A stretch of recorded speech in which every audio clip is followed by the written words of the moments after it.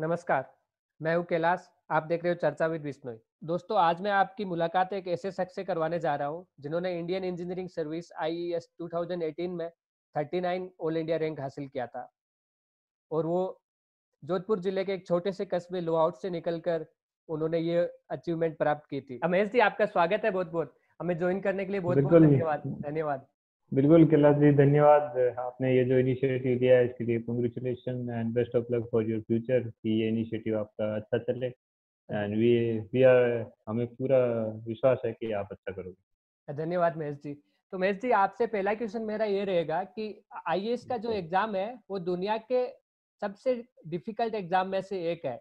और जो इनके टॉपर्स के जो मार्क्स रहते हैं, वो मतलब कुल मार्क्स के आधे मार्क्स रहते हैं जनरली तो मैं आपसे ये पूछना चाहता हूँ कि इसको इतना डिफ़िकल्ट बनाने के पीछे रीजन क्या है मतलब?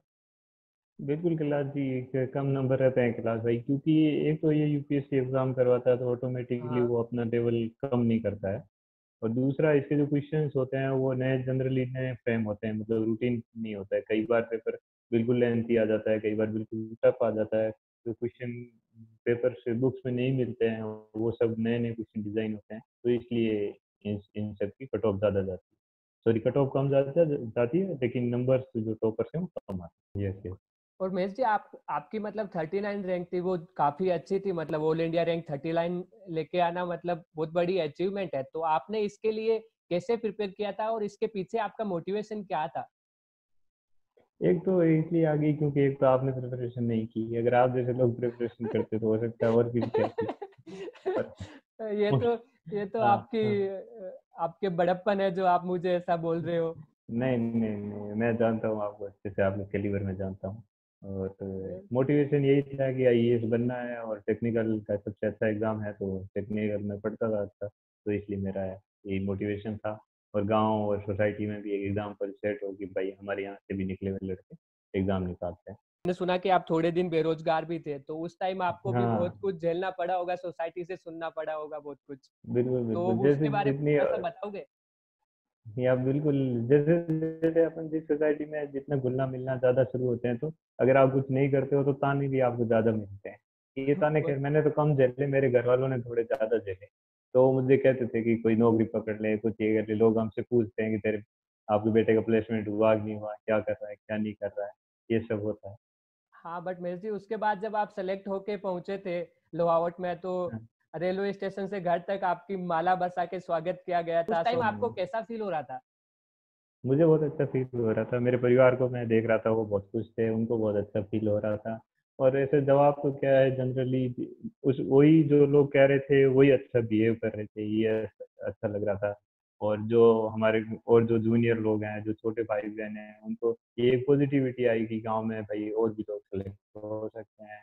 हमारे साथ के स्कूल यहीं से पढ़ा हुआ और से फिर एन आई टी श्रीनगर जाके फिर दिल्ली जाके प्रिपरेशन करके हो सकता है तो हम लोग भी अगर पढ़ाई करें तो हो जाएगा। और मेरे तो जितने भी कॉल आते हैं गाँव से सबको मैं यही कहता हूँ अच्छे से पढ़ो आराम से होगा। आपका वहाँ पे स्वागत किया जा रहा था सब कुछ हो रहा था। उस टाइम हाँ। आपने सोचा था क्या कि एक दिन मैं चर्चा भी विष्णु शो में जाऊँगा कैलाश को इंटरव्यू दूँगा? नहीं नहीं कभी नहीं सोचा था। ये ये तो एक आई बनना बड़ी बात है लेकिन आपके साथ आना मेरे लिए उससे भी बड़ी बात है। अरे ये तो सौभाग्य मेरा जो आप हाँ। अच्छा जब आप प्रिपरेशन हाँ। कर रहे थे तो उस टाइम आपका डेली रूटीन क्या था मतलब? कैसे प्रिपेयर किया आपने इतने बड़े एग्ज़ाम के लिए? बड़ा एग्ज़ाम तो था लेकिन एक बेरोजगार के हाथ में और क्या ही हो सकता है उसको पढ़ाई कोचिंग के कोचिंग कर रहे हैं तो पढ़ाई एक ऑप्शन था उस टाइम पे। और कोई किसी से बात भी नहीं कर सकते घर गाँव से भी पूछ लेते भाई क्या करते हो क्या नहीं करते हो? लड़कियाँ तो भाव वैसे भी नहीं देती उस टाइम पे तो फिर ऑप्शन कुछ बता भी नहीं सिर्फ़ पढ़ाई हाँ अभी तो लड़कियाँ भाव देती होगी आपके आगे पीछे घूमती होगी। नहीं नहीं नहीं मैं इस इस मामले में वो आपको पता है बहुत कमज़ोर हूँ। जी अभी आपके साथ मैं एक रैपिड फायर राउंड करने जा रहा हूँ तो हाँ. क्या आप रेडी हो उसके लिए? बिल्कुल मैं रेडी है फ़िलहाल। और आपका फेवरेट एक्टर और एक्ट्रेस फेवरेट एक्टर तो अक्षय कुमार है। एक्ट्रेस तो जो भी नहीं आती है वो फेवरेट हाँ हर टाइम जो नहीं आती वो बनती जाती है फेवरेट राइट हाँ अच्छी लगती है जो भी आती है ये। ओके और अक्षय कुमार क्यों मतलब? उसका कोई एक डायलॉग अक्षय कुमार का अक्षय कुमार तो सेंस ऑफ़ ह्यूमर मुझे उसका अच्छा लगता है और ये उसका बाकी मैं देखो फ़िज़िकल कितनी फिट फिट है वो और एक हर चीज़ मोटिवेटेड है देशभक्ति की जितनी मूवियाँ करता है ये सब अच्छा लगता है इसलिए और रिसेंटली उसकी मैंने केसरी मूवी देखी? उसका कोई एक डायलॉग सुना सकते हो क्या अक्षय सर का आप? हाँ वो वाला डायलॉग जो है कि मैं जो बोलता हूँ वो तो करता हूँ और जो नहीं बोलता हूँ वो डे, डेफिनेटली करता हूँ। क्या बात है दिल जीत लिया आपने ये बोल के। और और आपका फेवरेट सॉन्ग फेवरेट सॉन्ग उसी का जो केसरी मूवी है तेरी मिट्टी। उसका एक आध लाइन सुना सकते हो अगर पॉसिबल है तो। अगर याद है तो आपको ज़्यादा। नहीं गानों में आपको पता ही है मैं मेरा हाथ थोड़ा कमज़ोर ही है। हाँ अच्छा ठीक है कोई ना मतलब आवाज़ देख के आपको लग गया आपको तो खैर पता ही है हाँ। हाँ बट आप मतलब दर्शक जानना चाहते हैं कि जो ईएस e के फ़ील्ड में अपना धमाल मचा चुके वो सॉन्ग के फ़ील्ड में भी मचा सकते हैं ऐसा कुछ दर्शक नहीं नहीं नहीं ऐसा नहीं ऐसे हाँ इन सब मामलों में बहुत वो है कमज़ोर है शुरू से ही बैक बेंच कर रहे हैं बस स्कूल में कभी पंद्रह अगस्त को मौका मिल जाता था वो भी स्पीच स्पीच दे के निकल लेते थे। अच्छा और आपका फेवरेट क्लोथ का ब्रांड लुइस फिलिप्स और लुइस फिलिप्स और एलन सोनी आपकी favourite book favourite book India after 1857 Vipin Chandra. Okay और हाँ एक आपसे क्वेश्चन ये है कि जब आप किसी लड़की से फ़र्स्ट टाइम मिलते हो तो उसकी उसमें क्या देखते हो मतलब? पहली बात तो मैं मेरे लड़कियों से मिलना बहुत कम होता है। नहीं हाँ। ठीक है हम मानते हैं। हाँ। लड़कियों में मैं जनरली तो आपको पता ही है जो चेहरा वही दिखता है आगे से जो दिखता है चेहरा। Okay okay. और हाँ।, हाँ अगर आपको मौका मिला किसी फॉरेन कंट्री में ट्रेवल करने का तो कौन सी कंट्री में ट्रेवल हाँ। करना पसंद करोगे और क्यों? मैं फ्रांस जाना पसंद करूँगा।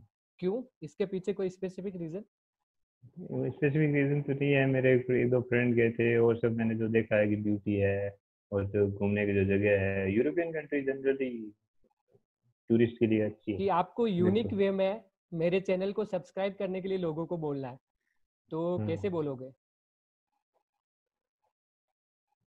कि भाई ये क्लास मेरे साथ बहुत पड़ा हुआ है। मेरी एक बात मान लो बस ये सब्सक्राइब कर लो चैनल। अरे वाह बॉस बहुत बढ़िया। तो पूरे इस वीडियो में कुछ मानो नहीं मानो लेकिन ये ज़रूर मान लो कि सब्सक्राइब कर लो चैनल। आपका ये तरीका काफ़ी आप तो खुद कैलाश तो खुद आप तो मोटिवेटेड लोगों के लिए मोटिवेशन हो जिस तरीके से छोटे से गाँव से निकल के आए फिर लौट में जैसे पढ़ाई की फिर आगे पढ़ाई की और फिर अभी सॉफ्टवेयर कंपनी में बहुत अच्छा कर रहे हो आप। और जो आप नए नए नए इनिशिएटिव लेते हैं और नए नए कुछ थिंकिंग प्रोसेस करते हो ये सब बहुत अच्छा है। क्योंकि ये गवर्नमेंट जॉब में आने के बाद आपको सोचने के लिए आए नए इनिशिएटिव के लिए आप पूरे बन जाते हो नया कुछ नहीं कर पाते हो क्योंकि यहाँ डिसीज़न लेना और फिर इम्प्लीमेंट करना बहुत हार्ड है जबकि आप अगर बाहर हो फ़ील्ड में तो आप और अच्छा कर सकते हो अगर आपने टैलेंट हाँ ये ये मैं इस बात से मैं सहमत हूँ आपकी लॉकडाउन इम्प्लीमेंट। किया है वो कितना हम्म। ज़रूरी था और आपको उसमें जो नेवी में हो अभी आप मुंबई में आपको उसमें कितना प्रॉब्लम हम्म। हुआ मतलब उसके बारे में थोड़ा लॉकडाउन लॉकडाउन का तो कोई कंफ्यूजन है ही नहीं ज़रूरी था नहीं ज़रूरी था। जैसे इम्प्लीमेंट इम्प्लीमेंटेशन हो सकता कुछ अलग हो सकता था या फिर कुछ पहले कुछ बाद में। लेकिन लॉकडाउन करना तो अल्टीमेट कोरोना का सोल्यूशन था ही उस टाइम पे। और मुझे खैर कोई ऐसी बड़ी प्रॉब्लम नहीं आई। बस मैं घर जाना चाहता था वो नहीं जा पाया। बट लेकिन नेशन के लिए सर्व करने के लिए इससे अच्छा क्या टाइम हो सकता है? तो मैं यही था खुश हूँ कोई दिक्कत नहीं। मुझे मुझे एक परसेंट भी दिक्कत नहीं हुई। लॉकडाउन ओके और हाँ मतलब ज़रूरी था लॉकडाउन तो ये गवर्नमेंट का बेस्ट हम्म। और अभी आप मुंबई में हो तो हम्म। मुंबई के तो हालात थोड़े से खराब है मतलब एटी थाउज़ेंड के थोड़े क्या काफ़ी खराब है। हाँ तो आप मतलब तो डर रहता है ऑफ़िस ऑफ़िस तो आपको पता है ये खुल चुके हैं पूरे। स्टाफ हम्म। भी आते हैं तीस परसेंट तो हर किसी से डर लगता है। तो एक उनको देखते हैं नए लोग को किसी अननोन को तो एक शक रहता है कि कहीं कौन है भाई कहीं कोई इसको कोरोना ना हो कहीं मेरे को कोरोना ना हो जाए। लेकिन हम्म। फिर वही मास्क और हैंड सैनिटाइजर ही बेस्ट सोल्यूशन है इस टाइम पे। हाँ तो अभी लॉकडाउन के दौरान हैंड तो सैनिटाइज कर कर करके कर करके थक गए होंगे बुरी तरह हाँ से बिल्कुल बिल्कुल। ऐसी रिपोर्ट्स भी आ रही है कि ये है अपने हाथ और स्किन के लिए अगर ज़्यादा अपन यूज़ करते हैं हैंड सैनिटाइजर को तो ये कार्सिजनिक इफ़ेक्ट है। जैसे कुछ घरेलू सामान जैसे आता है सब्ज़ी वगैरह या फिर कुछ चीज़ें जो हम्म, आप कुछ लेके आते हो मार्केट से तो उसको सैनिटाइज कैसे मार्केट तो मार्केट तो मैं जाता नहीं हूँ पहली बात मैं तो वो जो आप, आप तो आए ही हो सोसाइटी देखी है उससे हाँ। मैं बाहर ही नहीं निकल। तो मैं लास्ट नौ मार्च को बाहर निकला था आज लमसम तीन महीने हो गए हैं। मैं एक बार भी बाहर नहीं गया हूँ घर से और सोसाइटी से। दूसरा बाहर की यहाँ डिफेंस की कॉलोनी है तो कोई चीज़ अनअवेलेबल तो है नहीं। जो चीज़ मार्केट में बाहर है यहाँ इजीली एक्सेसिबल है। हर चीज़ आ जाती है और यहाँ ऑफिसर्स में है तो उन लोगों को ऑलरेडी गाइडेड है कैसे करना है कैसे नहीं करना है। तो वो सब चीज़ें वो कर लेते हैं।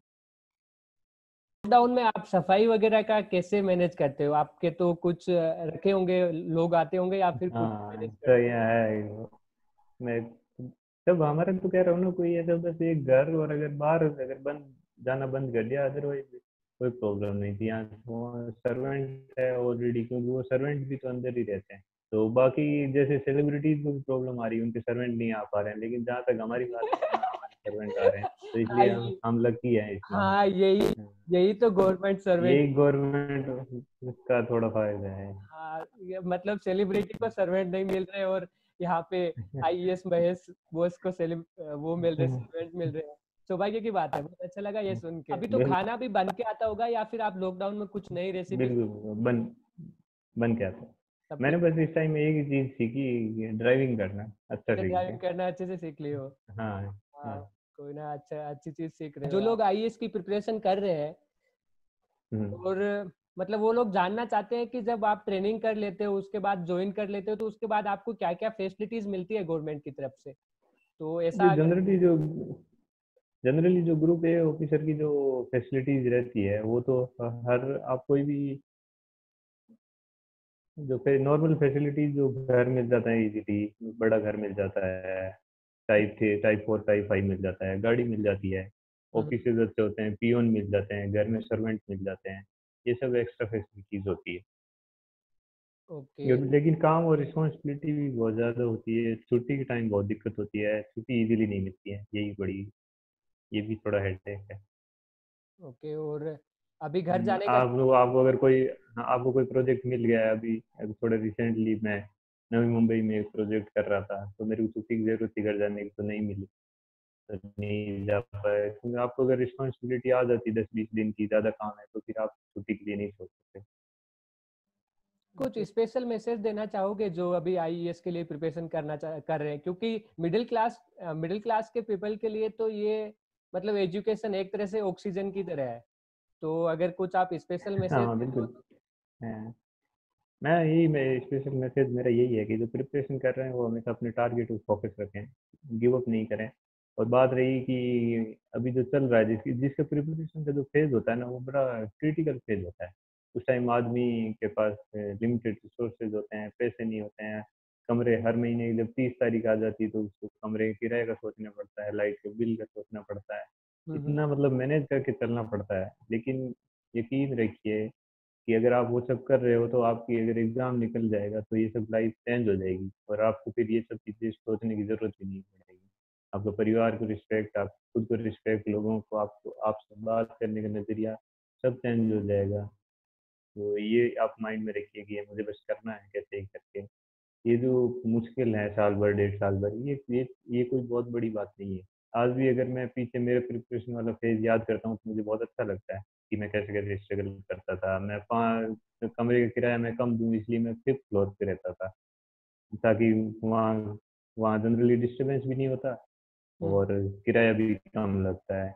और लोग और दोस्त जो आते ही नहीं थे ऊपर की भाई इसका घर तो इतना ऊपर है क्या जाना है हाँ तो उससे डिस्टर्बेंस नहीं होती। हाँ तो ऐसे ये सब चीज़ें मैनेज करके आ जाए तो आज ऑफ़िस में भी ये चीज़ें काम आती है ऐसे करना है ऐसे करना काम। वो सब चीज़ें एक बहुत अच्छा फ़ेज़ था इस लाइफ को। उस टाइम लगता था क्या चल रहा है ज़िंदगी मेरे दोस्त वहाँ चले गए मेरे दोस्त प्राइवेट बाकी हाँ मेरी कहाँ चले गए? अरे कहाँ चले गए? वीडियो कॉल करते थे तो वो अपने प्लेट दिखाते थे देखो हम ऐसे रह रहे हैं। मैं तो क्या बताऊँ? और पैसा कमाते थे अच्छा खासा तो मुझे लगता था मैं कब करूँगा? मैं तो हर महीने एक तारीख पर फ़ोन करके बोलता था पैसे डाल। अच्छा और मैंने ये भी हाँ। सुना है कि आप आपका ज्वाइनिंग के बाद आपने आपके पापा को गाड़ी भी गिफ्ट किया था राइट हाँ बिल्कुल गाड़ी गिफ्ट किया हाँ। हाँ मतलब हम्म। एक तरह से प्रेरणा स्रोत हो आप लोगों के लिए मतलब कितना अच्छा फैमिली को फैमिली के लिए? नहीं नहीं प्रेरणा स्रोत तो वो जैसे हर किसी का फ़र्ज़ भी बनता है कि मम्मी पापा ने आपको आपके लिए इतना किया है, तो मेरा ये तो कुछ है भी नहीं गिफ्ट जो मैं उनके लिए कुछ कर सकती बढ़िया। और आप इसकी सफलता का श्रेय किसको देना चाहेंगे? सफलता के श्रेय मेरे अपने प्रिय गुरु जम्बेश्वर भगवान और मेरे माता पिता जी और मेरे परिवार और सभी जो दोस्त जो चाहने वाले हैं। ओके। धन्यवाद महेश जी आप हमसे जुड़े। और अपना से हम तो आपसे हम तो आपसे जुड़े ही रहते हैं। हाँ अब हमसे जुड़े रहते हैं बट इस इंटरव्यू के लिए आप आए और हाँ बिल्कुल बिल्कुल। और दूसरा जो अपनी अपनी जो स्कूलिंग हुई थी कि कि गाँव सबके थे तो उसमें अपन जो तीन दोस्त थे अच्छे तीनों आज अच्छा कर रहे हैं। प्रमोद पावर ग्रिड में हैं आप सॉफ्टवेयर में बहुत अच्छा कर रहे हो मैं यहाँ पे हूँ। हाँ तो ये गाँव के लोग के लिए भी अच्छी बात है कि देखो अपने यहाँ की स्कूल से भी लोग पढ़ गए ऐसे ऐसे जा रहे हैं। हाँ अपने अभी गाँव से लोग निकलने लगे आगे तक पहुँचने लगे। मैं सोच रहा हूँ प्रमोद को भी प्रमोद से भी लाइव कनेक्ट होऊँगा। दोस्तों आज के लिए बस इतना ही। अगर आपको ये वीडियो अच्छा लगा तो लाइक कीजिए शेयर कीजिए और सब्सक्राइब भी कीजिए। और मारवाड़ी में कहूँ तो तारे अगर वो वीडियो प्यारो लाग्यो मीठो लाग्यो अच्छो लाग्यो तो सब्सक्राइब कर दो लाइक भी कर दो शेयर भी कर दो और तारा जगह दोस्त है नहीं बाने भी बता दोस्तों नीचे कमेंट सेक्शन में कमेंट करके ज़रूर बताइए कौन सा पार्ट आपको अच्छा लगा। और नेक्स्ट एपिसोड में आप किसको देखना चाहते हो? हँसते रहिए, मुस्कुराते रहिए और घर में रहे सुरक्षित रहे और बस कोरोना काल में ज़्यादा खा के फेल मत जाना। धन्यवाद।